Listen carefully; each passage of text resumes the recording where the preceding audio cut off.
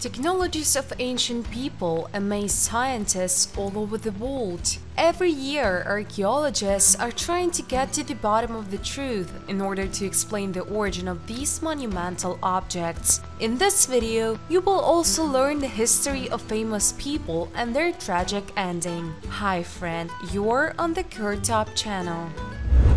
17 skeletons on the grounds of a Welsh monastery.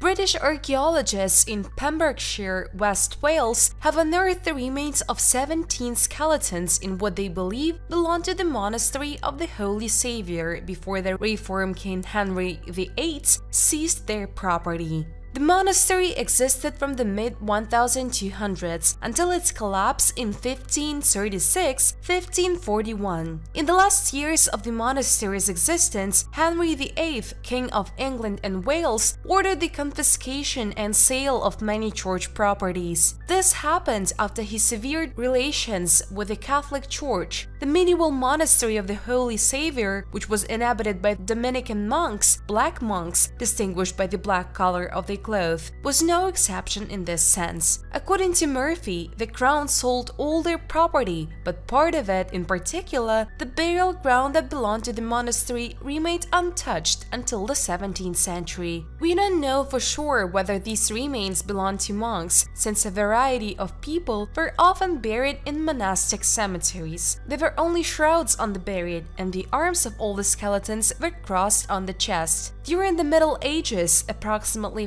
500 to 1500 AD, monasteries were popular places for burial. Initially, the monastic cemeteries were intended only for the monks themselves, but quickly became popular places for the burial of the laity. The current excavations are taking place ahead of major construction in the area, with plans to build a three-story grocery store with a bar and a rooftop terrace in the area.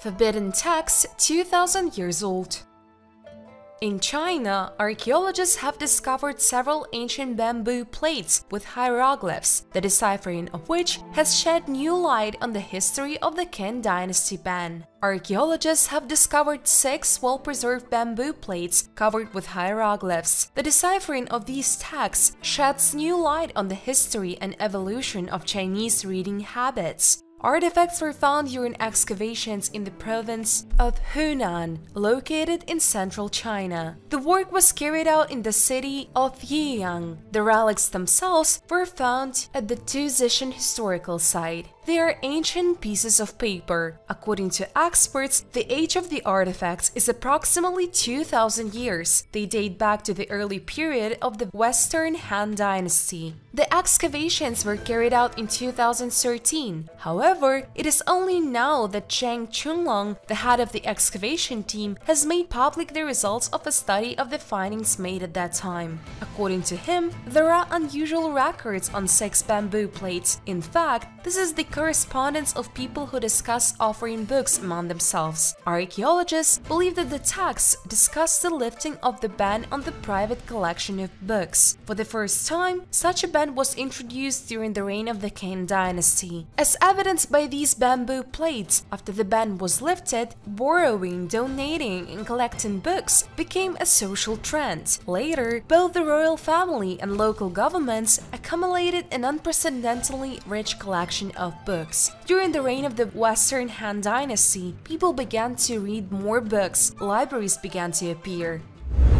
The Secret of Buddhist Monks Buddhism is one of the most ancient religions. There are many artifacts thanks to which we can restore the history of this religion, its values and features. One of such artifacts is the collection of texts of the Tripitaka Koreana. It contains all the knowledge about Buddhism that has accumulated over decades. These are not copies of already existing texts. This is the original, which gives a complete picture of knowledge about Buddhism. On the Korean peninsula, There is a Haeinsa monastery, which is very important for the entire Asian culture. This place is remarkable not only for its beauty and tranquility that people find here, but also for the fact that completely unique texts are stored here. This collection has been accumulating for several centuries. All the canons of Buddhism are described here, and there is simply no other such complete collection. All these texts are stored on clay tablets. There are more than 80,000 of them.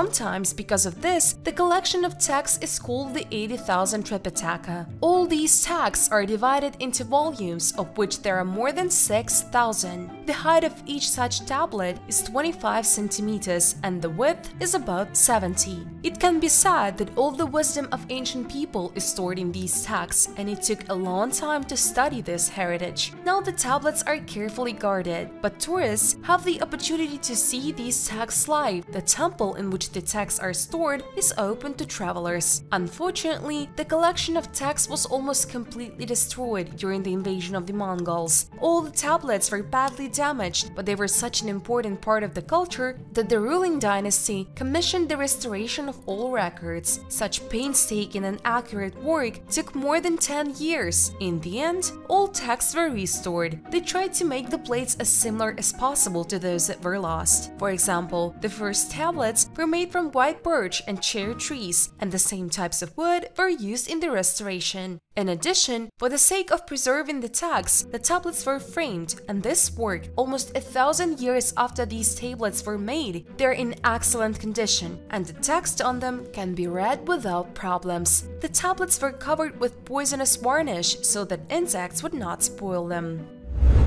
Traces of Denisovans in a cave in northern Laos in Laos, in the Tamngu Kaok 2 cave in the Annamite Mountains, a 130,000-year-old tooth was found, which, as it turned out, belonged to a representative of the Denisovans, a subspecies of ancient people whose traces were previously found in the Denisova cave in Altai and in China. The found tooth, molar, belonged to a girl aged 3.5 to 8 years. The age of the find was determined by sedimentary rocks in the cave and amounted to 164-131,000 years. The close morphological similarity to the Xiahe specimen from China indicates that they belong to the same taxon, and that Tamngu Hao 2 most likely represents a Denisovan. The anthropological material of a Denisovan in Southeast Asia was found for the first time. The authors of the publication attributed the rarity of the find to the peculiarities of the region's climate.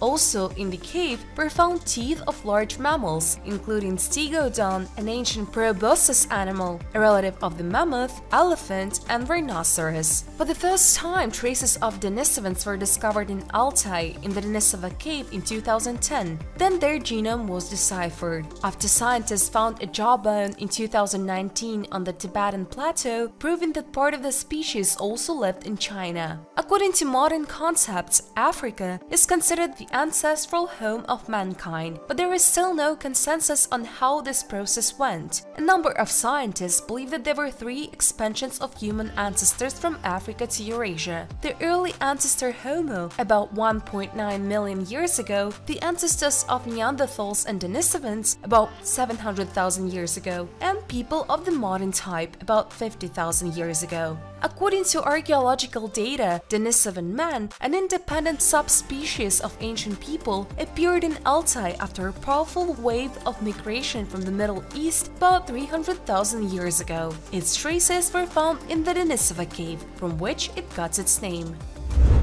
The mysterious tomb of Genghis Khan Death overtook the great Mongol commander in 1227 during the Crusade, and for many years, scientists and researchers have been wondering where the founder of the Mongol Empire was buried. There are legends that the body of Genghis Khan was returned to his homeland and buried along with a huge amount of valuables. Therefore, it has been a main goal for researchers, scientists, and ordinary treasure lovers for centuries. It is believed that after death, for the sake of the beloved Khan, Many people were killed. All passers-by who came across on the way to the burial place were executed by soldiers. After the huge grave was dug by the slaves, they were also killed. And then they killed the soldiers who killed the slaves. Although there is a version that the soldiers independently and voluntarily committed suicide in order to serve Genghis Khan even after death. Further versions of the legend about the burial of the commander diverge. The first of them says that the course of the river was changed, which to this day hides the grave. The second suggests that after the burial, a herd of horses was released, which trampled all traces of the excavated earth.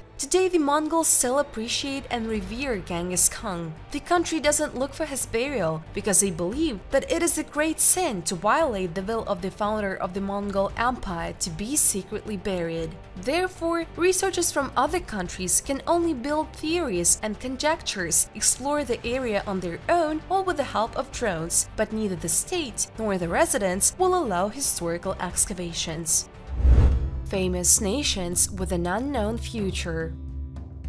On the pages of historical books and textbooks, one can meet such people as Polovtsi, Aztecs, or Phoenicians, and this is not surprising because all of them, to one degree or another, left their mark. However, today few people are interested in what became of them. Did they disappear, or do their descendants still inhabit the planet? And I'll start with the very Aztecs, whose temples have survived to this day. Many people remember these people for their rituals, but for some reason, few people pay attention to their cultural development but they highly valued poetry and theatrical performances in which musicians and acrobats participated. In addition, they were engaged in sculpting sculptures and dishes, as well as carving wood. What happened to them? In the 16th century, the Spaniards arrived on their territory and found the city of Mexico City. It is easy to guess that today the descendants of the Aztecs are the Mexicans who are trying to preserve the culture of the people who followed the hands of the Spanish conquerors. But if these people lived already in our time, then the Mayan civilization appeared even before our era. These people were remembered for achievements in the fields of mathematics and astronomy, and their exact calendar more than once made a fuss. Perhaps many more discoveries would have awaited them ahead if it were not for the Spaniards again, who brought with them many diseases unknown to the Indians. Today in Mexico and Central America, you can find about 5 million people who speak Mayan languages, all of them united in communities and went to live in villages where they are engaged in agriculture and selling their products products. The Phoenicians were outstanding people because it was their language that formed the basis of many modern alphabetic systems. It was among them that there were prominent merchants and sailors, as well as glass and ceramics craftsmen. But just acquired wealth did not provide their state protection. So back in the 4th century BC, the Phoenicians disappeared, and other countries, such as Lebanon and Syria, have settled on their territory today. Remember how the Gauls were shown in the Asterix and Obelix movie series. So this Celtic tribe was, indeed, considered barbarians, although in fact they cannot be called savages. Their rather complex society revered the Druids and advocated gender equality. And yet, the Celts were one of the first among Europeans to wear pants. Already in the 1st century BC, most of the Celtic people sunk into oblivion. Only the British part remained, living in the territories of Wales, Scotland, and Ireland. Despite the fact that these people have ceased to exist fully, their culture continues to live and is actively sung by people from all over the world at various annual festivals. Surely everyone has heard about the Incas, who lived in the 12th century in the territory from Chile to Ecuador. But few people know that poverty and unemployment were not allowed in this empire, which they fought with the motto, do not lie, do not steal, do not be lazy. What is it about these people? The creation of a lunar calendar, as well as a method of transmitting secret information using quipu, a complex interlacing of knots and ropes. And once again, a promising civilization fell due to the Spaniards brought a smallpox epidemic to their land. It is known that the